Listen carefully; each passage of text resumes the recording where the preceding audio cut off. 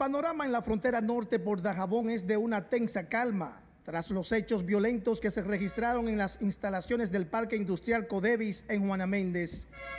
El alcalde de la ciudad anunció el cierre del mercado este viernes. Sin embargo, esta medida fue dejada sin efecto. Las tropas del ejército de la República Dominicana se mantienen resguardando la seguridad de la frontera, donde el intercambio comercial se desarrolla bajo extrema vigilancia militar. Unidades tácticas de las Fuerzas Armadas se mantienen custodiando el ingreso de los comerciantes haitianos al mercado por Dajabón.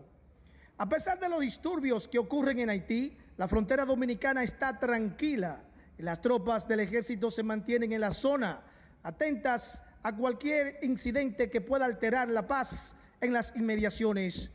Todo esto por disposición del mayor general Carlos Antonio Fernández Onofre, comandante general del Ejército de la República Dominicana, y supervisadas por el comandante de la Cuarta Brigada con asiento en Mao, general Germán Rosario Pérez.